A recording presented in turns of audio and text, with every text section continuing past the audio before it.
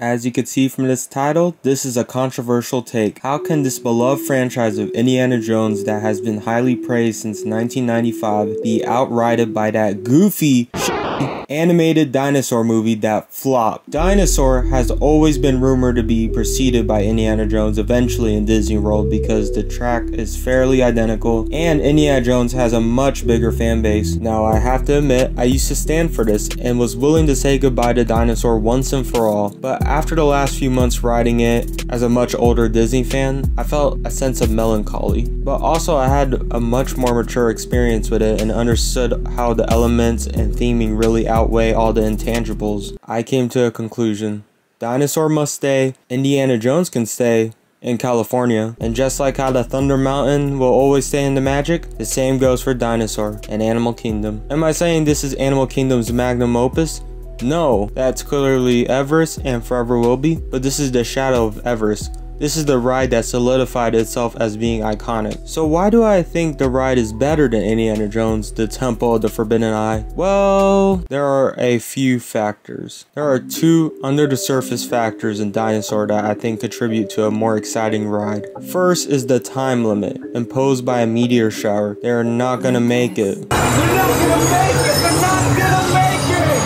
It gives the riders a feeling of stakes. It gets louder, more dangerous dinosaurs start to appear. The turns seem more jagged, the showers get more clearer for an overwhelming, well executed climax. Whereas Indiana Jones, you kind of just go around this room for like 3 minutes, but more on that in a second. In Dinosaur, if you told me our time rover had moved several miles through the jungle from beginning to end, I might just believe you. The ride just feels faster and along with the time limit creates a real sense of urgency urgency and sense of immersion that I believe is unmatched with Indiana Jones. The second and I think most important difference though is the certain level of darkness. Indiana Jones has too much light throughout. There, I said it. At certain points, it seems as if you could see the entire track layout within one big room, and it starts to feel like if you're in an old Fantasyland dark ride just zigzagging around with little to show for it. Dinosaur is pretty freaking dark. You can't see nearly all the ride, it's just vague and it gives it that OG Disney magic just like Space and Splash Mountain and the Haunted Mansion as well. Indiana Jones would have been better if they just made it more darker considering you're in a cave. Like why is there so much light? Also the use of practical effects are horrendous in this ride, don't get me started. The Pepper Ghost effect was a transcendent technique that was used with Haunted and then Winnie and a few other Disney rides. In these examples, it's perfect. For this one,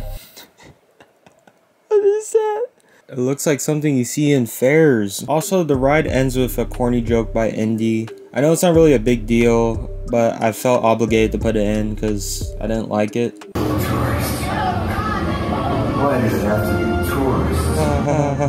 Funny.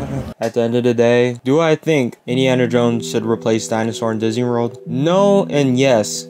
Not that exact ride, but I am down to have a better reamped Indiana Jones ride. Like I said, that ride has been built for a long time in Disneyland. Taking that old ride after decades, just duplicating it and bringing it to Animal Kingdom makes no sense to me whatsoever. They did Rise the Resistance well, so I'm assuming they're going to use some of the same techniques with that if they do it. And that could be Indiana Jones Land, which will be really cool. But at the end of the day, if someone prefers Indiana Jones over Dinosaur, that's fine. But if someone says that it's better than Dinosaur, show them this video, tell them to subscribe and say sayonara and run away. Thanks for watching. Peace out.